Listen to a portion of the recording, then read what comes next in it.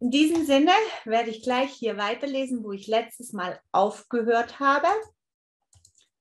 Und zwar, du musst unbedingt noch das erste Video anschauen, das ich gemacht habe, damit du wirklich die Zusammenhänge verstehst.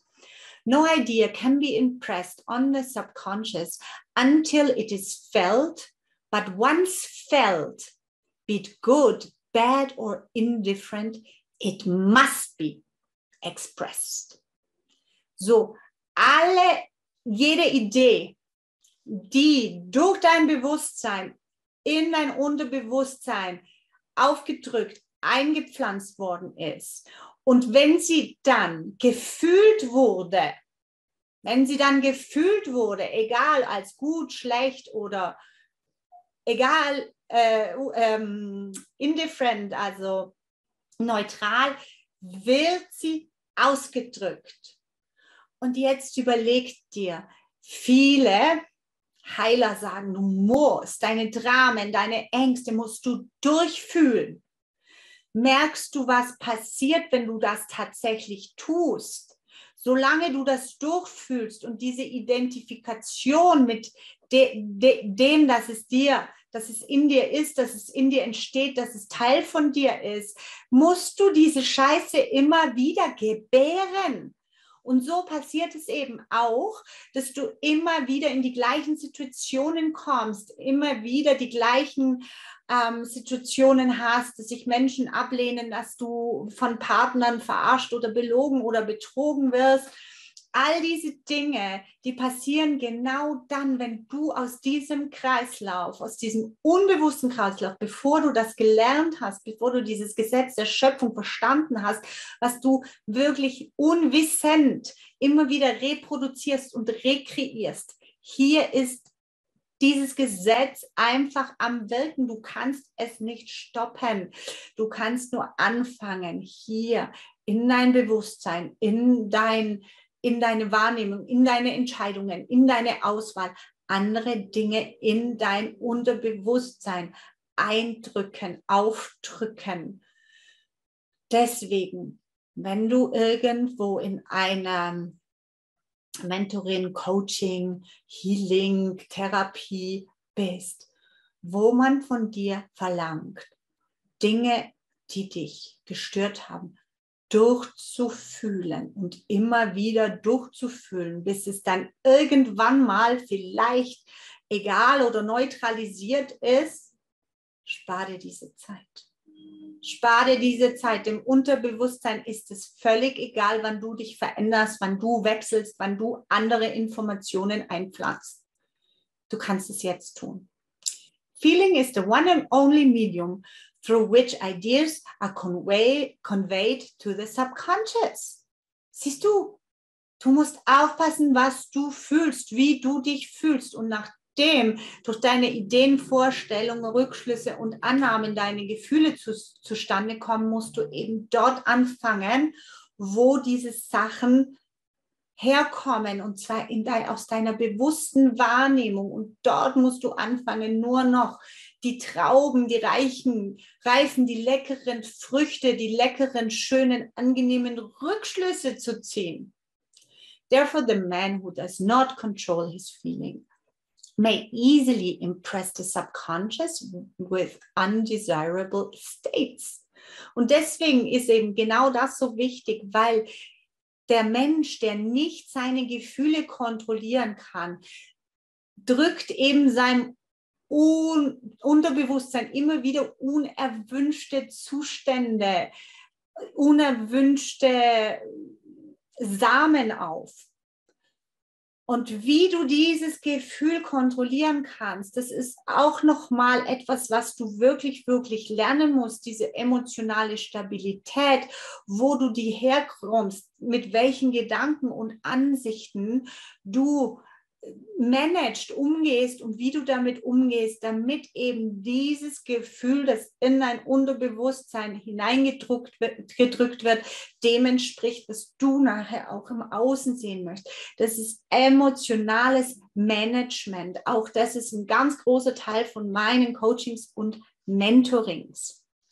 By control of feeling is not meant restraint or suppression of your feeling, but rather the disciplining of self to imagine and entertain only such feelings as contributes to your happiness.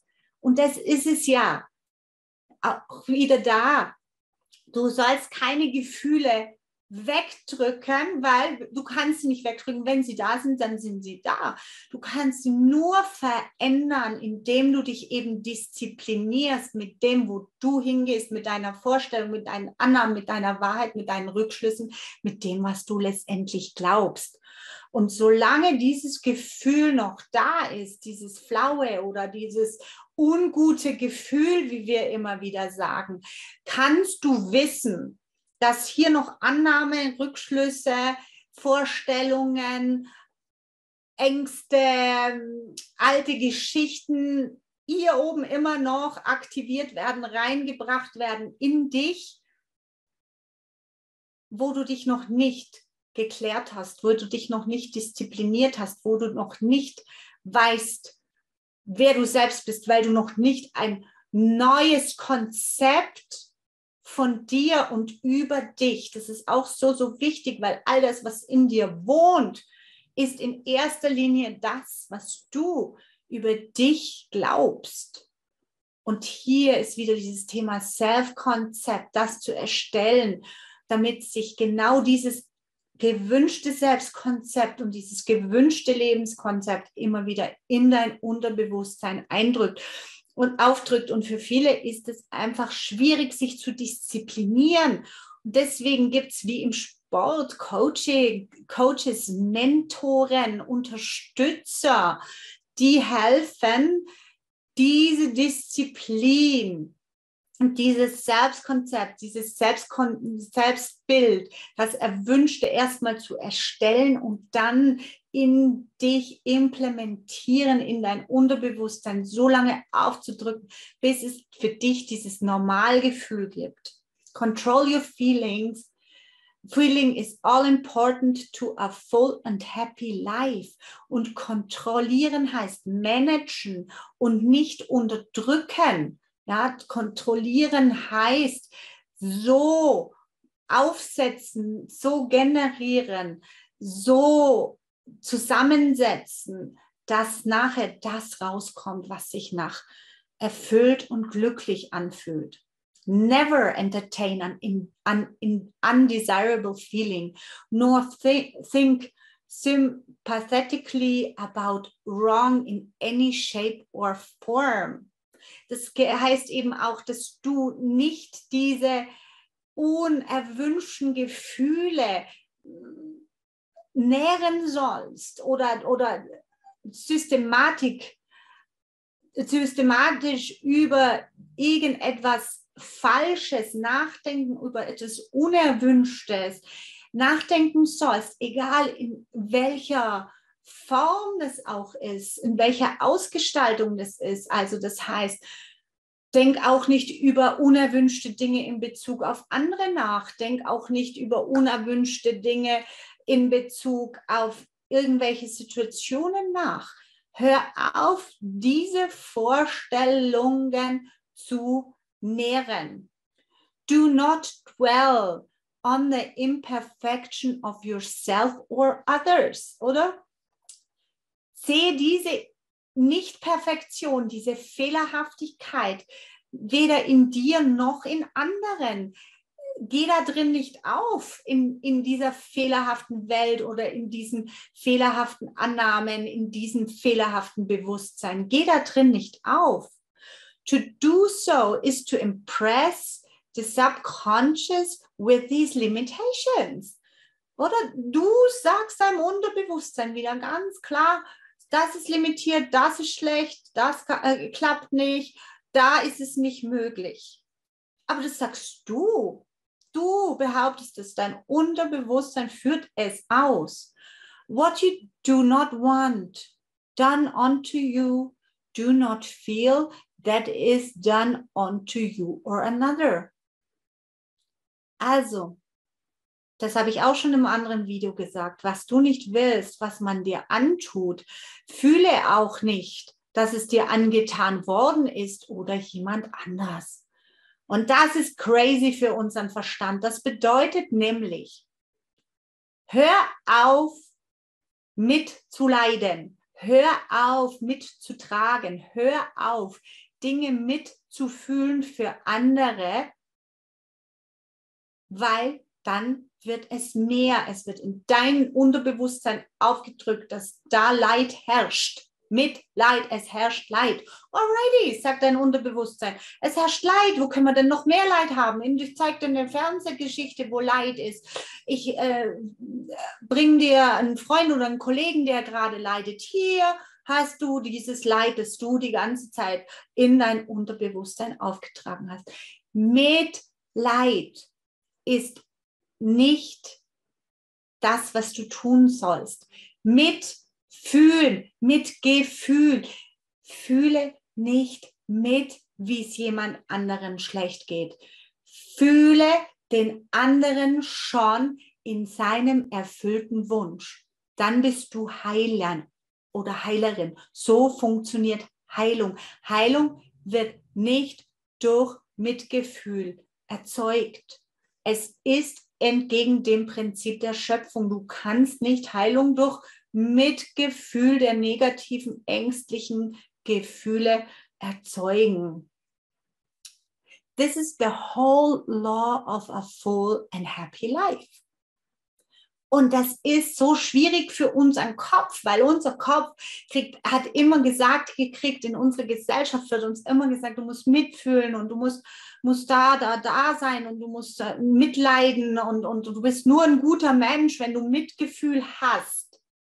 Ja, Mitgefühl für die Divine Design, perfekte, wunderbare Version, die du in dein Unterbewusstsein eindrücken willst, diese Version von einem anderen Menschen, der vielleicht gerade leidet, dem es gerade schlecht geht, diese Version, die transformierst du da oben, wie ich es erklärt habe, und pflanzt die gesunde Version in dein Unterbewusstsein ein. Du weißt, dass dieser Mensch klar gesund ist und dass dein Unterbewusstsein diese Version von diesem Menschen ausdrücken wird, wenn du sie fühlst, wenn du in dir fühlst, wie dieser Mensch freudig, gesund und glücklich ist.